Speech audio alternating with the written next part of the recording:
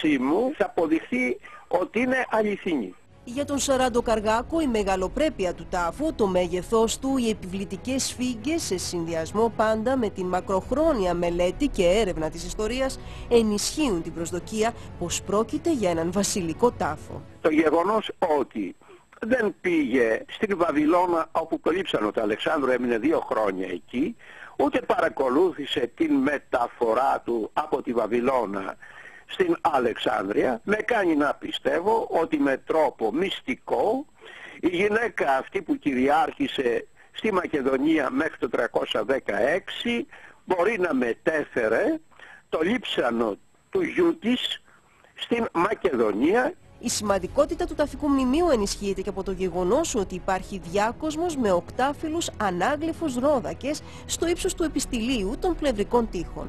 Οι ρόδακες είναι βασιλικό σύμβολο της Μακεδονικής δυναστείας. Ο ήλιος της Βεργίνας έχει στο κέντρο του ρόδακα, όπως επίσης και η Λάρνακα που βρέθηκε στον τάφο του Φιλίππου με τα οστά του. Σε δηλώσεις του, ο Υπουργός Πολιτισμού Κώστας Τασούλας ενισχύει την άποψη ότι ο τάφος δεν έχει συλληφθεί. Η επιχωμάτωση του προθαλάμου του ταφικού μνημείου στην αρχαία Αμφίπολη ενισχύει την εκδοχή πως ο τύμβος δεν έχει συλληθεί. Αυτή η υψηλή επιχωμάτωση στο εσωτερικό του προθαλάμου μέχρι την κορυφή έγινε για την προστασία του τάφου. Νεότερες ανακοινώσεις όσον αφορά την εξέλιξη των ανασκαφών θα έχουμε την Πέμπτη, ενώ για μια πιο ξεκάθαρη εικόνα για το εσωτερικό του τύμβου θα χρειαστεί να περάσουν, σύμφωνα με τον Υπουργό Πολιτισμού, περίπου δύο εβδομάδες.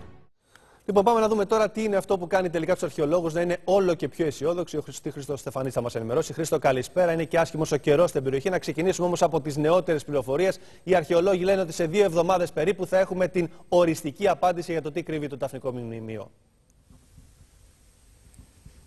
Ε, έτσι ακριβώς είναι. Αντώνη, υπολογίζουν ότι σε αυτό το διάστημα θα έχουν καταφέρει να ε, διαμορφώσουν το χώμα, τις πολύ μεγάλες ποσότητες χώματος που υπάρχουν μέσα στον τάφο, όπως είπαμε και από χθες, να αντιστηρίξουν και να υποστηρίξουν τους πλαϊνούς τείχου και τους διαφραγματικούς και να προχωρήσουν με ασφάλεια στο, στο εσωτερικό του τάφου, έτσι ώστε να βρουν, όπως ελπίζουν, επιγραφές, αγάλματα ή άλλα κτερίσματα και αναθήματα που να φανερώνουν, βέβαιοι σχεδόν γι' αυτό, ε, την ταυτότητα του τάφου. Βέβαιοι δηλαδή ότι θα βρουν τέτοια πράγματα μέσα που θα φανερώνουν την ταυτότητα αυτού ή αυτών που ετάφησαν μέσα σε αυτόν. Τώρα, Χρήστο, λόγω της κακοκαιρίας στην περιοχή αλλά και των επικείμενων καταιγίδων, οι αρχαιολόγοι ήδη παίρνουν μέτρα για την προστασία του μνημείου, έτσι. Ακριβώς, Αντώνη, να ξεκινήσουμε λίγο με τις εργασίες και να πούμε ότι οι εργασίες που γίνονται είναι, αφορούν τη θωράκιση του μνημείου μέσα και έξω. Από αυτό, να πούμε ότι έγινε διαμόρφωση ε, σε βαθμίδια του χώματος που, όπως είπαμε, ε, βρέθηκε μέσα έτσι ώστε να αποτελεί αντίβαρο για τους διαφραγματικούς τείχου.